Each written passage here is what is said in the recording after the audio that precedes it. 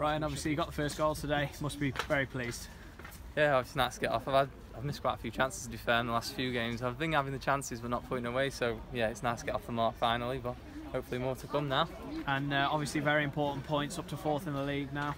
Yeah, they're a good side. They started off very well. They have. So I thought it was a good performance by the team and that, and we've actually turned a good performance into points today, which is we've had a few performances where we've played well but not got anything out of it, and then the other side of it, we've not played so well and managed to get a few points. But today we played well and we actually got the three points, so that's always nice. Like. How important was it to get that first goal early against such a high intensity side as well? Yeah, we started. We started off.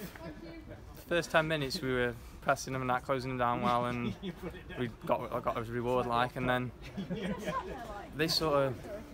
I don't know what happened really, but they sort of got on top of the game a little bit and started putting us under a bit of pressure. But centre halves were class again today, winning their headers and stuff, and we held firm. And then after we rode that storm, we just pushed on again, created a few more chances, and then we thought we were on top most of the second half. To be fair, so yeah, lads done well today. Yeah, very important second goal as well to uh, keep heads. Yeah, it just calms everyone down a little bit, and we had quite a few other chances as well. To be fair, that's, we just need to be a bit more clinical, and the games which are a little bit tighter, we just that's one of the criticisms I say. We just need to be clinical. We had few very good chances, but it's not meant to be. But.